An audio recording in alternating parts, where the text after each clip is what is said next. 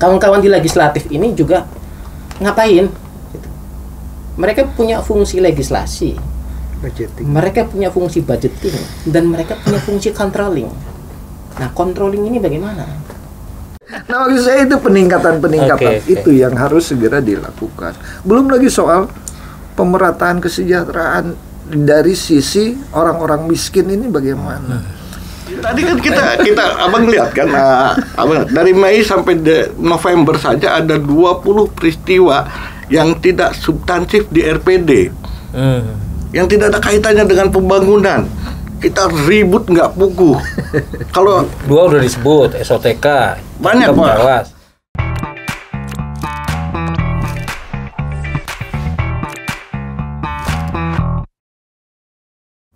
Selamat datang tahun 2023 dan selamat tinggal tahun 2022.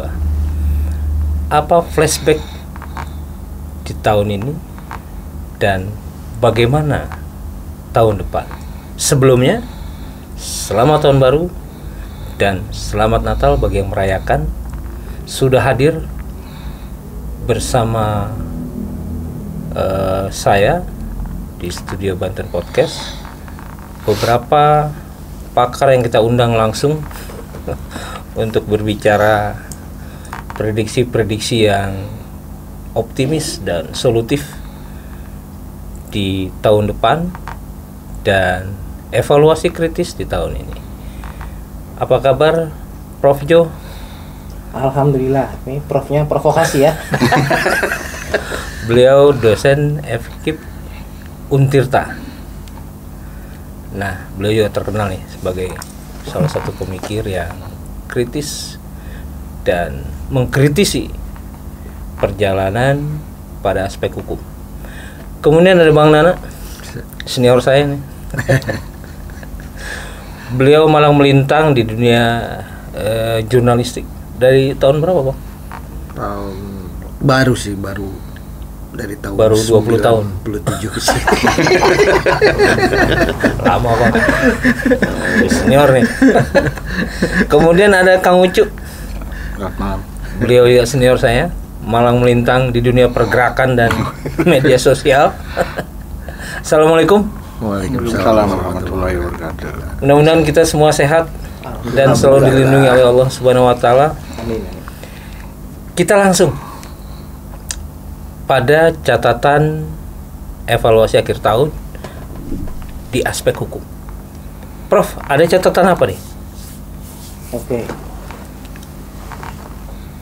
Secara global ya. Kita secara Ya, global. kita bahas tentang Banten. ya kita eh, di fenomena Banten secara global ada eh, problem mendasar itu tentang relasi relasi antara pemerintah masyarakat sebagai civil society dan criminal justice system saya sebut sebagai criminal justice system ini karena di dalamnya ada APH polisi sampai ke tingkat kejaksaan sampai pengadilan tiga ini kalau dalam skala demokrasi semestinya menjadi sinergis. Hmm. Tetapi fenomena di tahun 2022 ini membuka peluang adanya penggunaan APH sebagai bagian dari alat politisasi hukum. Jadi ketika saya berkonflik misalkan dengan dengan Bang Iksan, saya akan lapor ke APH. Nah, kalau Bang Iksan kapok, saya cabut itu laporan. Hmm. Nah persoalannya APH kita sudah banyak pekerjaan ditimpa lagi dengan teknik-teknik yang seperti ini. Nah jadi eh, semoga ya di tahun eh, 2023 itu terjadi eh, peningkatan kecintaan kita terhadap rekan-rekan di APH sehingga tidak semua persoalan itu kemudian ditimpakan dibebankan kepada mereka. Ini memindahkan persoalan pemerintahan kebijakan publik ada yang tidak beres semestinya dikaji buka diseminasi publik, buka kajian publik, apa datanya, ayo buka bareng-bareng. Kayaknya nggak afdol nih kalau nggak ada contohnya. Ya. ada banyak contoh ya, ada banyak dari persoalan eh, di sektor pendidikan ya, kemudian di sektor eh, pengadaan-pengadaan tanah, kemudian di sektor eh, yang paling berkonflik nih, paling berkonflik informasi publik. Nah, ini problem muncul di sini. Hmm. Nah ini semestinya eh, bareng-bareng saja lah kita dalam suasana demokrasi. Ada indikasi jual beli nggak? kalau indikasi eh, saya bilang harus ada ini harus ada bukti konkret kalau cerita indikasi tetapi kita melihat ada gejala di mana fenomen criminal justice system ini kemudian dimainkan sebagai politisasi oleh kawan-kawan oleh semua organ eh, apa namanya eh, demokrasi yang semestinya menjunjung di sistem demokrasi itu sendiri kawan-kawan kita APH ini di criminal justice system ini sudah banyak pekerjaannya Eh, kita support mereka, tingkatkan kecintaan kita kepada mereka dengan membiarkan kawan-kawan ini untuk memfokus pada apa penuntasan hukum. Nah, hal-hal yang sifatnya kebijakan publik yang menjadi irisan-irisan politisasi itu mari kita selesaikan di ruang diskursus. Kita bangun diskursus Banten ini dalam eh, dalam ruang-ruang hukum yang lebih sehat. Oke, Prof. Tahan dulu. Kesimpulan pertama yang bisa kita tarik, APH masih menjadi alat politik. Gitu, Prof. Politisasi. Politisasi. Ya. Kalau alat politik kan berarti ada yang memainkan. Ya, kalau alat politik dia ya Kalau- frame ya, frame itu akan ke praktis ya. Kalau politisasi berarti dia juga ikut bermain. Bukan, politisasi Setelah artinya begini. dimainkan. Ah, APH ini diposisikan dia masuk terlibat ke dalam kebijakan publik. Ya, ya. Gitu. Saya berkonflik misalkan dengan dinas, ya dalam segi apa keterbukaan dan seterusnya. Lalu saya minta eh, APH untuk ayo ikut dong masuk ke kebijakan publik. Ya. Padahal kerjaan kawan-kawan APH ini cukup banyak. Oke, Prof. Kita ke Bang Nana dulu. Ini kelihatannya kalau wartawan senior kan akan lebih menyoroti pada persoalan-persoalan yang lebih dalam pada tingkat eh, pemerintahan kira-kira. Atau Bang Nana punya catatan tersendiri? Ya terima kasih Pak Iksan. Jadi kalau saya sih menyoroti bahwa pembangunan di provinsi Banten ini baik di tingkat kabupaten kota maupun eh, pemerintah provinsi nggak fokus. Apa sih kepentingan utamanya?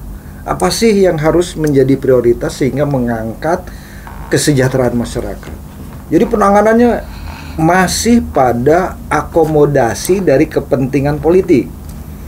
Misalnya eh, reses dari hasil ini kepentingan kita lihatlah hasil reses itu dari tahun ke tahun kan Nggak gitu aja copy paste diganti orangnya diganti tanggalnya lokusnya aja gitu apa dari tahun ke tahun urusan jalan jembatan Ini sekedar gitu. manipulasi Gitu. atau ini ada indikasi pelanggaran? saya Pidana. sih eh, lebih pada akomodasi politik kepentingan politik. Jadi eh, saya sebagai anggota dewan misalnya gitu kan, itu punya konstituen di daerah A. Ya, kalau saya ngeluarin duit ke situ kan banyak keluarnya. Jadi kalau saya reses kan dibiayai bagi-bagi duitnya di situ di konstituennya. Seolah-olah dari dia padahal itu dari, dari itu. Kalau saya sih melihat itu sehingga pembangunannya menja- menjadi fokus. Sekarang kita mau menyelesaikan yang mana dulu? Kan harus bikin skala prioritas sebagai eh, se- apa seperti yang tertuang dalam rencana pembangunan. Ini kan harusnya bertahap dilakukan itu sehingga tiap tahun ada yang diselesaikan. Bang, Bukan tiap tahun itu benar-benar di situ. Yang nggak fokus ini PJ Gubernur, OPD, Dewan atau semua? Kalau kita melihat ya leader lah. Oh. Kalau kita melihat kalau OPD semua kan tergantung leadernya. Hmm. Siapa yang berani sama leadernya? Iya kan? Kalau kamu kerjain ya kerjain lah pasti. Hmm. Jadi yang saya bilang bahwa setahun ini 2022 saya melihat memang tidak ada yang fokus dikerjakan diselesaikan. Mungkin eh, teman-teman juga lihat kondisi Tapi secara kondisi simbol selesai kali disampaikan. secara simbol dia menempati itu selesai.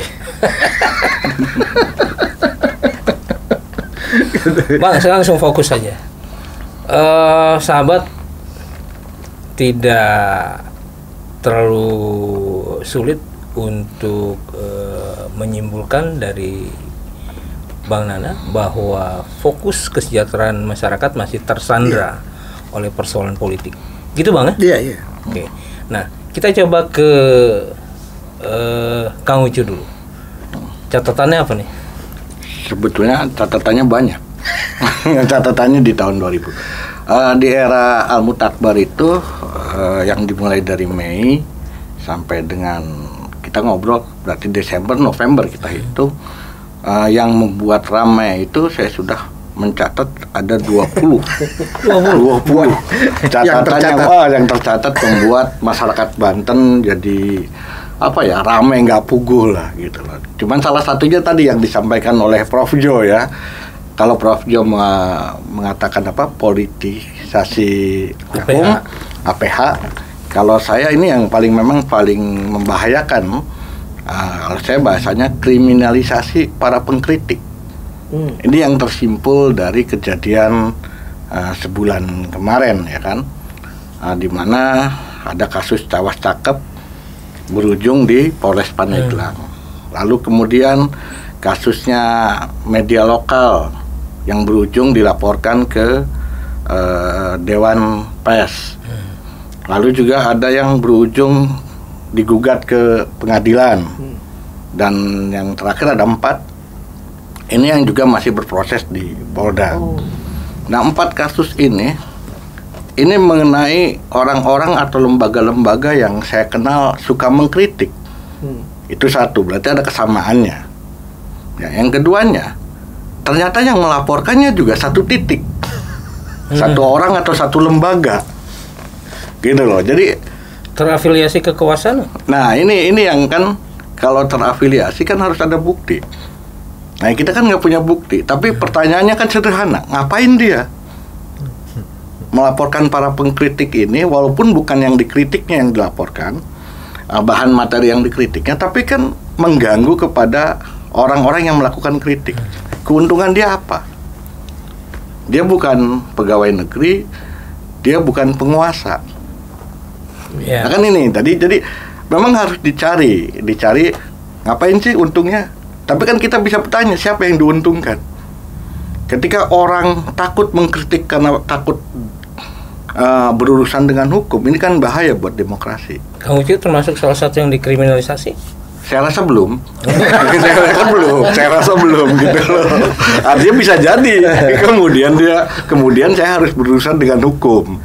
Nah, itu kan. Nah, ini dari 20 kejadian itu saya pikir memang buat pribadi saya dan mungkin teman-teman yang suka mengkritik yang paling bahaya ini.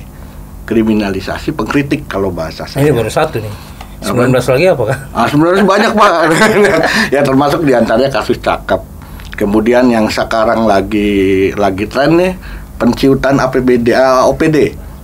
Nah, jadi menarik nih. 44 OPD diciutkan jadi tinggal 25. Ini juga bikin bikin resah dan alasannya juga jadi jadi tanda tanya besar. Persoalannya apa sih? Ya kalau tidak salah kan persoalannya efisiensi anggaran, hemat anggaran. Misalnya kalau kita punya 44 eselon 2 berarti kali tukinya sekian kian kian dengan 20 25 OPD menjadi lebih sedikit. Itu kalau kita bicara duit gitu kan, bicara anggaran. Tapi kan yang jadi persoalan adalah mampu nggak? Kalau kita bicara kualitas kan kemampuan. Hmm. Artinya ketika kita punya 44 OPD, maka se- seorang eselon 2 hanya nangani bidang-bidang yang memang nggak banyak gitu loh. Nah ketika diciutkan dia kan dia harus nimpang. Hmm. Karena eh, urusan pemerintahan itu kan tetap ada. Mau OPD-nya satu, mau OPD-nya 100, urusan pemerintahan kan tetap. Nggak yang Kang Ucu persoalkan apa secara substantif? Ya kualitas dari eselon 2-nya nanti. Misalkan Dindikbud digabung dengan perpustakaan. Ya kan? Nah, masih Dindikbud aja. Kan kita tahu pendidikan di Banten masih carut marut. Banyak yang kelupaan. Misalnya pembangunan kebudayaannya ke- gimana? Anggarannya aja kecil. Ucu, persoalan SOTK baru. Iya. Pengaruh langsung dan tidak langsung pada persoalan pelayanan masyarakat gimana? Jelas karena orang makin banyak pikiran makin makin susah. Eselon 2 Dindik yang tadinya mikirin pendidikan dan kebudayaan ditambahin harus mikirin perpustakaan. Otaknya mampu nggak? Hmm. Kan itu pertanyaannya, otaknya mampu nggak? Dia kan nambah pekerjaan, Pak. Gitu Ucu, kan? Ini ada satu pertanyaan yang saya ajukan ke eh, semua narasumber. Dari mulai politisasi APH, kemudian kesejahteraan masyarakat yang masih tersandra, kemudian yang ketiga yang diajukan oleh Kang Ucu eh, persoalan kriminalisasi demokrasi kira-kira gitu ya. Dan eh, SOTK yang kemudian pro dan kontra.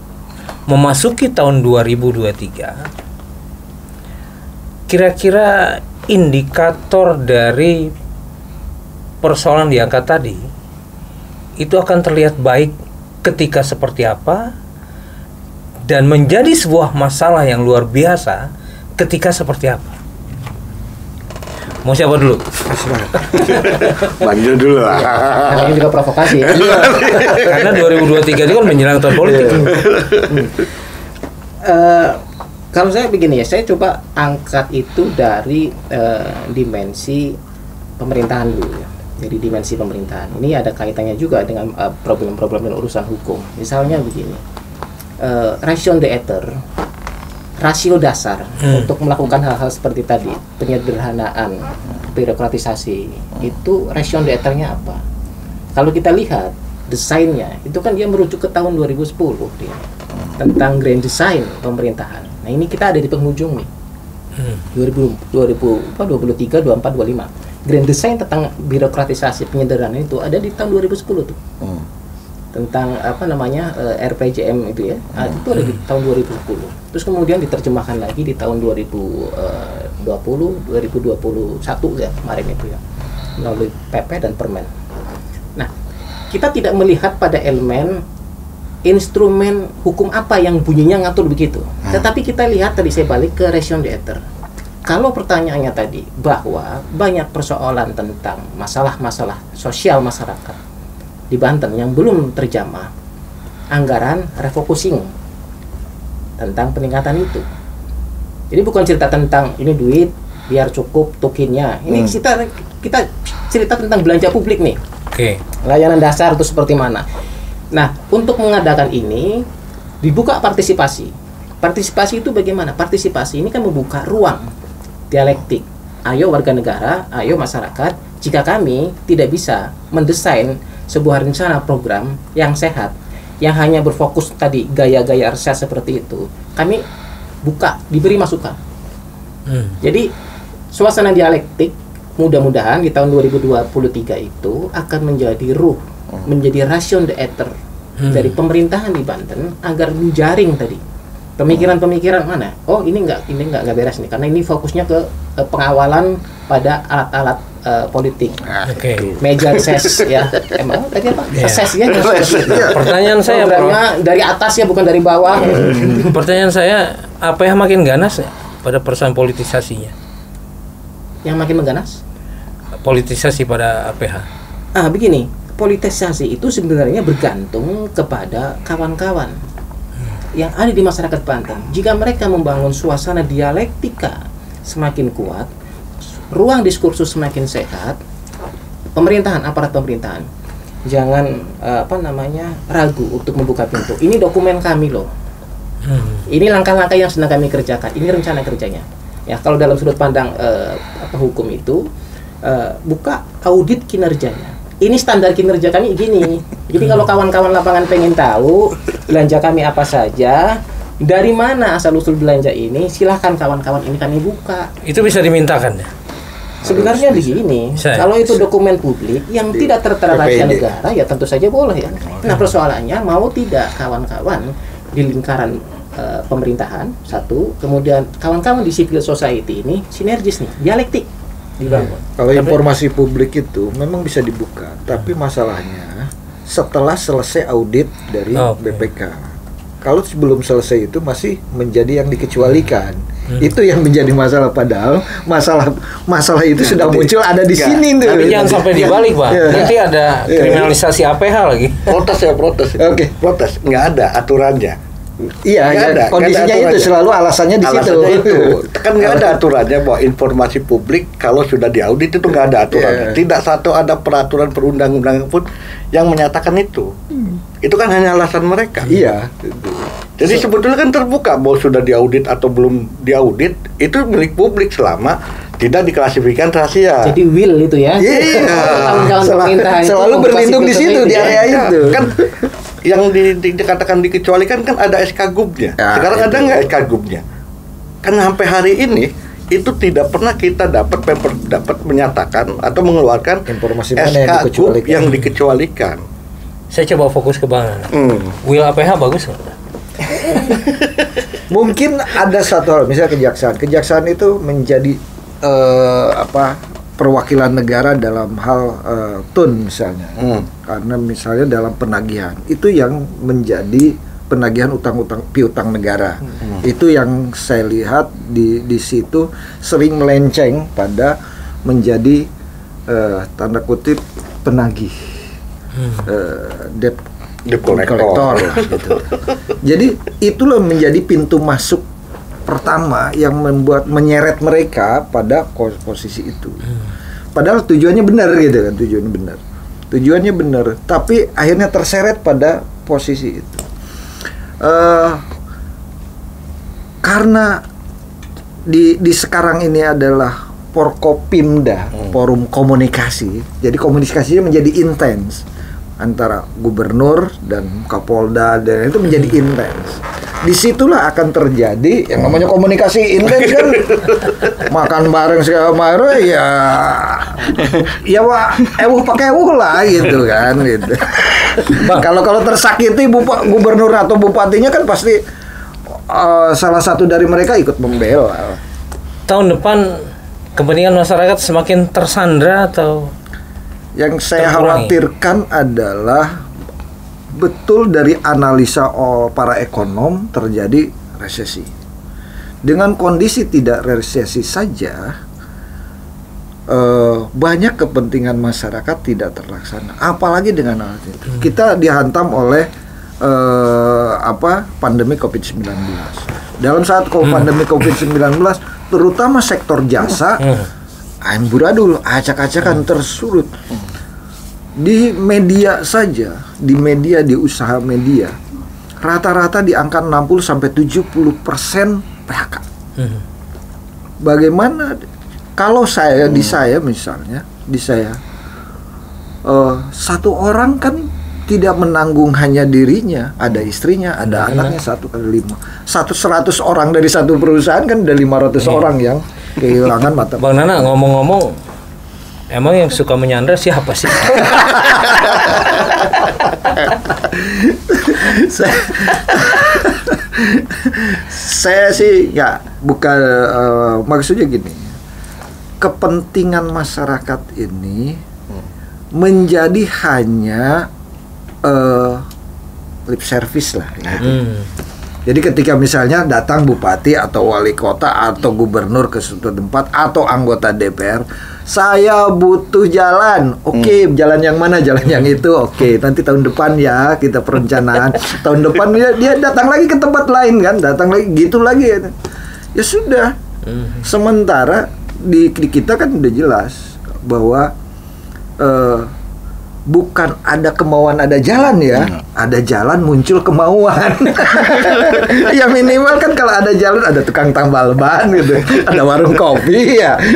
jadi jadi kayak begitu kalau kalau kan susah kan ma- memang karena mungkin itu tadi di masalah pendidikan dan sebagainya pelatihan kan rata-rata pendidikan masyarakat pandai gelang lebak aja yang cuma Iya. 6,7 tahun kan Tapi kalau kalimatnya selalu ada jalan nggak boleh dibahas itu. Ya. Jadi kalau saya orang orang terutama orang orang kita ya orang orang orang Banten itu ada jalan muncul kemauan gitu. Dibalik boleh. Di balik. Bukan ada ada kemauan ada jalan. Kang Ucu, gimana eh, substansi dari persoalan diangkat terhadap eh, apa berkurangnya persoalan itu di 2023? Malah bakal bakal tambah banyak. Bakal tambah banyak. Iya, karena- indikasinya Sepakat tadi dengan Bang apa Prof Jo ya. Apa sih persoalan utamanya? Kok jadi diciutkan sampai kecil OPD-nya? Apakah persoalan anggaran kan nggak mungkin? Karena anggaran itu kan jelas ada. Apa juga yang jadi dipersoalkan? Kedua kita bicara regulasi. Apakah regulasi kita melarang kita punya 44 OPD? Hmm. Kan nggak juga, Bang. Bahkan boleh lebih kalau nggak salah. Dengan tipe A boleh sekian, bukan tipe B boleh. Iya. Kenapa sih diciutkan? Akhirnya akan berimpak pada kita butuh eselon 2 yang kualitasnya lebih tinggi. Ada nggak? Ketika orang dibandingkan gitu kan. Nah, akhirnya kan pada agak- buruk sangkanya Agak saya. optimis dikit eselon 2 yang berkualitas siapa Bang? Yang Gatel saya ngomongnya. Gatel saya ngomongnya. Contoh gini kan. Atau Gini jumlah aja. jumlahnya yang berkualitas ada berapa orang? Semakin banyak sebenarnya Saat, semakin saat ini yang berkualitas ada berapa orang? Pikir-pikir kayaknya susah bang bilangnya bang. susah bilang. Masih susah. Ya kan contoh gini, ada eh, Badan Pengelola Keuangan, BPKAD, lala ada Bapenda. Kita tahu baru tahun ini Bapenda memenuhi target, tahun-tahun kemarin kurang. Ya kan ada alasan Covid dan sebagainya. Ada kinerjanya kan baru sekarang. BPKAD kan ya begitu-gitu aja lah. Dan sekarang orang yang mikirin aset dan pen- eh, dan keuangan harus tahun depan kalau OPD apa perda OPD itu jadi harus mikirin pendapatan lagi. Ya ini aja nggak beres-beres kok. Dia nyari, dia terus ngeluarin juga. SOTK-nya memang wajib. Enggak, artinya es perubahan itu karena memang ada undang-undang undang uh, undang-undang dan peraturan yang baru sehingga dasar hukumnya yang harus dirubah. Tapi persoalan jumlah OPD-nya, jumlah OPD-nya itu tidak diatur. Yang ngatur kan ada tipe A berapa, ini apa gitu loh. Nah, akhirnya kan saya baru buruk sangka loh. Aturannya aja memperbolehkan kok kita punya 44 OPD, kenapa disingkatkan, di efisien Dikecilkan. dikecilkan. Akhirnya saya larinya sederhana, ya kalau bicara uang kita punya, Mhm. Bicara apa? Kan bicara pengendalian, Pak. Kalau PJ Gubernur mengendalikan 44 OPD menurut tak dia nggak kuat kan? Ada aja OPD yang nakal, ya kecedikitin aja kenapa kan gitu? Ya sedikit, ya yang nakal berkurang. ya, ya paling tidak dia gampang gampang ketahuan gitu loh. Oh ini nakal, oh ini nakal. Mengendalikan eselon 2 bukan? Oke, kembali Gitu loh, eh. kita coba bahas. Satu pertanyaan yang sama juga untuk ketiga narasumber di Banten Podcast saat ini, sahabat. Bagaimana karakter kepemimpinan Banten saat ini menghadapi tantangan, peluang, dan persoalan di 2023? Siap tidak siap, kuat atau tidak kuat, atau ada isu yang berembus. Pokoknya Mei tahun depan harus ganti. Gimana, Prof? ini dilematis ya. Kalau saya jawab optimis, eh, nanti diketawakan. Ya. Kalau saya jawab pesimis, itu juga harus pakai indikator. Kenapa dilema? Saya pikir begini. Mari kita tengok. Banten itu provinsi, otonomi. Sekarang pada posisi dua tahun, ya mungkin akan tahun depan lagi tambah satu tahun lagi ya. itu. Itu dipimpin oleh orang yang posisinya bukan by election tidak dipilih secara politis, secara suara oleh masyarakat Banten untuk ditaruh di atas, kemudian ia membuka visi misi apa yang mau dikerjakan itu selama lima tahun. Nah sekarang posisinya tahun 2023 ada pada kendali ini kita cerita span of control ya pada unity of command-nya, pada garis komando ya. Ini kan mereka ditaruh dari Jakarta. Dari pusat. Nah, artinya secara legitimasi politik ke bawah bukan dalam konteks spirit eh, otonomi, tapi ini bagian dari proyek pemerintah yang ditaruh di lapangan, ditaruh di pemerintah daerah untuk menger- untuk apa ya? Biar tidak ada kekosongan kekuasaan. Mhm. Persoalannya adalah tahun-tahun ini termasuk tahun 2023 itu duit yang segede itu duit Banten nih satu tahun tahun 2023 eh 2022 ini sudah dihanguskan nih selesai nih ya kan begitu dalam dalam hal yang positif katakanlah begitu 2023 ini mau bicara apa itu apa pemerintahan kita ini mau dibikin satu tahun visinya ke sana satu tahun saya ke sana ini duit Banten loh Silpanya juga banyak. loh. Nah, terus ini saya masuk sini sini. Ini kita belum memiliki kalau konsep lima tahun kan berjenjang nih. Tahun ini ngarep ini, Ya. berikutnya begini. Nah, nah, terus kemudian kawan-kawan ini yang jadi pro- problemnya. Kawan-kawan di legislatif ini juga ngapain? Gitu. Mereka punya fungsi legislasi, Budgeting. mereka punya fungsi budgeting, dan mereka punya fungsi controlling. Nah, controlling ini bagaimana? Menurut Prof, tiga-tiganya jalan saat ini? Formal ya, jalan. Hmm. Substantif Tidak. tidak. Bagaimana mereka mau melakukan kontrol terhadap PJ? Hmm. Sementara dia bukan mitra dalam tanda kutip. Apa yang dijelaskan oleh Prof ini. bisa dibilang 2023 berlaku lagi autopilot atau ada strong leadership yang akan muncul? Jika legislatif kawan-kawan kita di legislatif itu membangun civil society secara dialektis kuat, strong argumen, maka ia bisa melakukan span of control. Mampukah kawan-kawan kita? Gitu. Jika kalau iya, kalau tidak. Jika mereka mampu, maka mereka akan melakukan koreksi besar-besaran terhadap mata anggaran yang tadi problemnya. Jangan itu-itu saja dong pakai teori-teori reses. Cari dari bawah apa? Skala prioritasnya Iya. mana? Mana yang dibutuhkan? Terus kemudian kalau misalkan iya toh misalkan mau dibikin Prof, ada pengusutan. sebentar, saya ingin konfirmasi dulu. Bentar, bentar. Kalau misalkan mau DPR masuk- pernah kuat satu aja, ya atau tidak? Pernah kuat tahun 99 2004. DPR pernah kuat, ya atau tidak? Dengan provinsi provinsi Banten ngimpi ya. Lanjut, Prof. kuat kuat 99 2004 karena dia bisa meng, bisa menghentikan ya.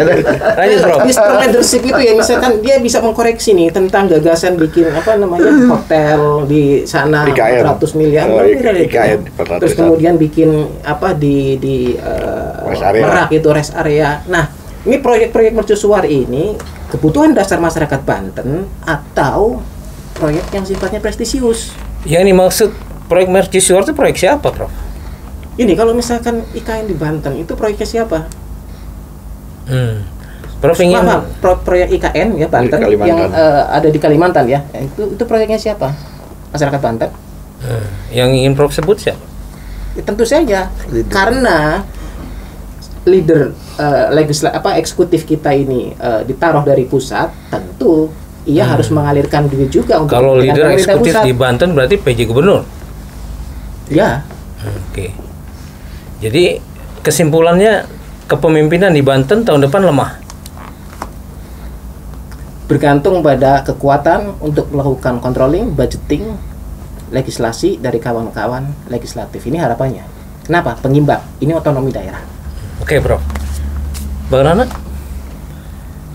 Eh, saya masih melihat bahwa eksekutif akan tetap lebih kuat dari legislatif di Banten ini. Ya, siapa pun siapa pun yang yang yang nanti misalnya tetap ini yang sekarang PJ yang di ini ini Bang, akan biar clear, Bang. Eksekutif akan tetap lebih kuat dibandingkan legislatif. Apa sih suplemennya? Eh, karena itu tadi dia dia dia memang eh, banyak minum vitamin dan dia sudah di- dikasih eh, vaksin yang kuat dari Jakarta sebelum musim. Maksud saya ketika Bang Nana buat vitamin ini apakah permainan ATM-ATM-an terjadi sehingga Oh saya tidak punya data sejauh itu Oke. Karena memang itu perlu perlu pengkajian lebih jauh. Tapi maksud saya gini, eh, selama ini apa yang diinginkan eksekutif, legislatif, amin ya, berapa sih yang yang bisa terjegat oleh eh, oleh eh, apa eh, legislatif? Kebijakan-kebijakan PJ atau yang program-program yang sebetulnya kontroversi di masyarakat itu juga tetap berjalan seperti itu. Oke. Artinya legislatif Perlu kepemim- penguatan. Kepemimpinan di Banten 2023 akan menguat. Nah, Masih tetap menguat. dalam konteks apa dia eh, menguat? Dalam konteks yang eh, apa namanya positif atau negatif? Artinya kuat untuk diri sendiri dan kelompoknya atau kuat untuk masyarakat? itulah. Artinya kalau untuk masyarakat saya saya sampai sampai sekarang tidak melihat indikasi yang kuat untuk segera bisa mensejahterakan masyarakat. Ya. gitu karena yang di depan matanya saja gitu artinya dia keluar tiap hari keluar masuk eh, KP3B mana ada yang yang tertata baik gitu untuk kese- untuk kesejahteraan masyarakatnya kah, untuk eh, faktor estetikanya kah, Oh, oke. gitu loh. Tidak ada gitu. Padahal dia tiap hari bolak-balik lewat situ di depan Dia matanya itu sendiri. siapa, Bang? Ya tetap kembali lagi dia adalah leadernya. Oke, Kang Ucu, gimana prediksinya?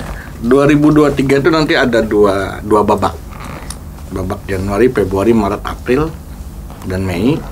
Lalu babak Mei sampai Desember. Ubahan. Oh, Ya, ada dua babak. Oh, dua babak. mak- maksudnya dua dua PJ. Bukan, ada drama, ada drama, ada drama. Dra- kalau drama itu ada dua babak. Fokus sampai Mei itu pasti legislatif bakal eh legislatif eksekutif atau ya lebih tepatnya PJ gubernur itu kan masanya sampai Mei saja. Karena SK-nya jelas satu tahun jabatan, artinya sampai Mei dia entah diperpanjang, entah tidak. Nah ini kan membuat eh, kepemimpinan itu jadi rawan. Dan dari Januari sampai Mei, siapa pun yang punya kepentingan terhadap politik kekuasaan akan bermain. Apakah bermain memperpanjang Al-Mutakbar sebagai PJ gubernur atau bermain agar Al-Mutakbar tidak diperpanjang sebagai PJ gubernur. Nah, kira-kira yang mana yang bakal terjadi? Ya, kalau saya sih berharapnya nggak diperpanjang, selesai kan gitu. Kalau sih Alasannya ya, tadi kan kita kita abang lihat kan ah, abang dari Mei sampai de- November saja ada 20 peristiwa yang tidak substansif di RPD hmm. yang tidak ada kaitannya dengan pembangunan. Kita ribut nggak pugu kalau dua udah disebut SOTK Banyak, Pak. Coba coba Kang biar lebih meyakinkan tiga lagi aja. Yang pertama misalnya nih cakep di sini ada persoalan pelantikan eselon 4 jadi fungsional yang sampai saat ini belum beres-beres. Ya kan kemudian kisru soal BUMD antara komisaris di, dengan dirut Bank Banten penciutan OPD tadi udah. Ya kan banyak PLT yang melebihi masa jabatannya. Lalu kemudian eh, prestasi stunting kita punya prestasi loh berhasil menurunkan stunting kan aneh stunting itu turun dua tahun kemudian ini baru berapa bulan udah turun stunting kan aneh Hmm. dianggap prestasi ini kan jadi stunting ada dutanya pas nggak itu Iya, dutanya harus kena stunting, Pak. Kalau dutanya tinggi-tinggi percuma. dutanya harus pendek, gitu loh. saya belum bisa berimajinasi duta stunting kira-kira seperti. Jadi kalau dia tampan good looking artinya kan mengkhianati Iya, mengingani dari stunting itu sendiri. Oke, eh, terima kasih para narasumber Banten Podcast. Ada pertanyaan terakhir. Saya ingin lebih akurat ukuran daripada narasumber yang hadir di studio ini. Bagaimana ketimpangan kemiskinan dan ekonomi yang ada dalam masyarakat? Apakah itu utara selatan? Apakah kemudian eh, apa namanya sumber daya yang bisa diakses oleh masyarakat semakin baik atau semakin buruk menjelang tahun politik? Siapa yang mau duluan? Atau masyarakat akan semakin terpuruk? Saya coba eh, garis bawahi dari persoalan eh, Bang Nana. Sudah. Kalau persoalannya adalah apakah kesejahteraan masyarakat itu akan terpenuhi di tahun politik ini, saya bilang eh, kecil kemungkinannya, Kecil. kecil. Tahun politik itu orientasinya ke mana? Kesejahteraan atau kekuasaan? Oke. Pasti orientasinya kepada kekuasaan. Jadi kerja dari eh, kinerja apa namanya APBD, saya sebut APBD ya, ini menyeluruh termasuk kapan-kapan juga di legislatif. Ini jangan-jangan tahun ini itu menjadi start untuk mulai meloncat menghadapi tahun ke depan dan ini berarti ada konsentrasi atas APBD ini kepada hal-hal yang bersifat politik. Prof, ini serem loh, Prof. APBD untuk kekuasaan, bukan untuk masyarakat Banten. Kira-kira begitu, Prof. Eh, itu potensi. Tergantung bagaimana civil society. Kita buktikan kawan-kawan di legislatif yang tadi eh, beliau-beliau sebut tidak pernah itu menjadi strong ya. Semoga di tahun 2023 ini mereka menunjukkan Hmm. kapasitasnya. untuk Ada indikasi strong. untuk kalau indikasi semestinya empat eh, tahun-tahun yang lalu sudah terlihat ya. Hmm. Nah, Sampai sekarang belum? indikasi belum, tetapi harapan sebagai masuk tahun baru tentu saja ceritanya tidak tentang harapan kan, ekspektasi. Jadi berharap kawan-kawan di legislatif ini memiliki penguatan kapasiti, mereka bisa melakukan kontrol yang lebih kuat, mereka bisa membuat budgeting lebih rasional, sehingga bukan kekuasaan yang disorot, tetapi tadi kebutuhan masyarakat dan membangun civil society. Oke, ini agak serem nih sahabat. Jadi APBD untuk kekuasaan, bukan untuk masyarakat. Jika DPRD-nya Lemah. lemah, tapi saat ini kan masih lemah. Gitu. Malah ada pertanyaan ekstrem, bukan persoalan kita tidak suka atau tidak butuh demokrasi. Memang kita masih butuh DPR. Kalau APBD pembahasan kan udah selesai.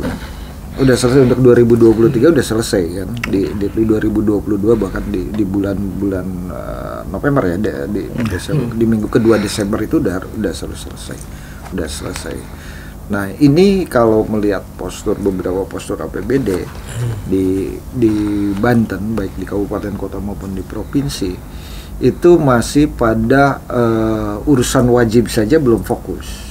Artinya pertanian, kesehatan, eh, infrastruktur itu kan menjadi berapa sih eh, kekurangan eh, dokter kita misalnya, berapa sih kekurangan guru kita di tingkat SD, SMP gitu. kan. Berapa sih ke sekolah yang rusak? Mungkin SMK, SMA sudah, tapi berapa eh, eh, laboratorium atau tempat BLK mereka praktek itu untuk meningkatkan skill mereka itu yang belum didukung. Berapa mitra perusahaan yang untuk menye- menye- me- meningkatkan kemampuan si anak-anak SMK ini juga tidak ada. Artinya hanya berge- ber- ber- apa, berkolaborasi dengan itu-itu saja. Itu yang eh, mening- menimbulkan bahwa sekarang ini kan banyak- banyak catatan bahwa al- alumni SMK itu menjadi pengangguran tertinggi kan dibandingkan dengan dengan alumni SMA. Karena SMA kan pada melanjutkan SMK kan memang priorit apa programnya untuk bekerja. Sementara skill mereka itu standar kalahlah bersaing ketika di kota-kota di di SMK SMK kota. Kenapa? Karena tadi mitra dari SMK SMK itu masih sedikit. Itulah yang harusnya pemerintah provinsi memberikan ruang lebih luas untuk meningkatkan kemampuan di situ.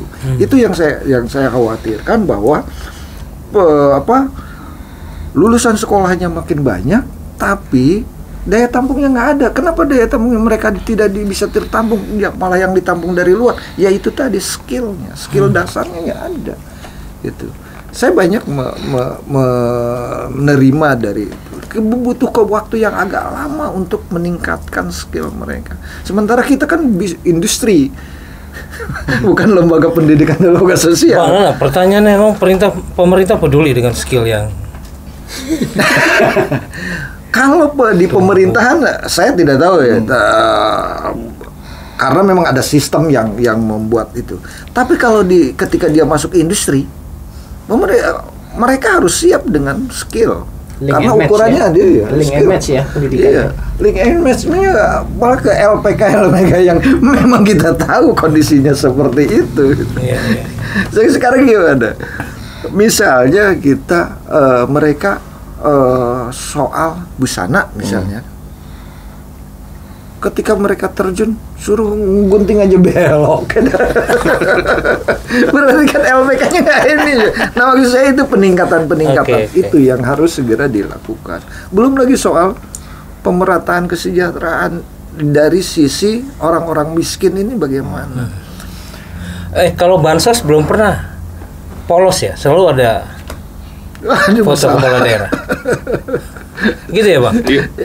Tapi sekarang kan ada ada ada sentralisasi data ya nanti data. yang tadinya terpisah data BPS, data eh, Kemensos, apa data ya Kemensos, data dinas kesehatan, ada desa Kemendagri. Nanti dalam satu data di di Kemendagri yang artinya ada di dinas kependudukan satu berbasis eh, NIK gitu.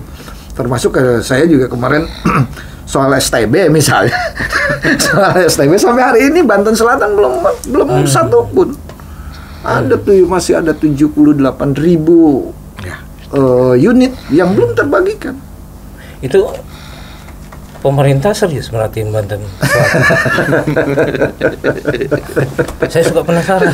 Persoalannya nggak Saya selesai. sebut controlling tadi. Ah. Mungkin budgetingnya sudah selesai ya. Controllingnya tuh. Oke.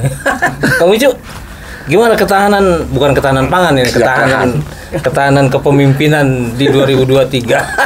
Iya, kalau bicara tadi kan sebenarnya ditanya aja kesejahteraan. Nah, Oh, oke. Kesejahteraan itu Oh kan iya, iya.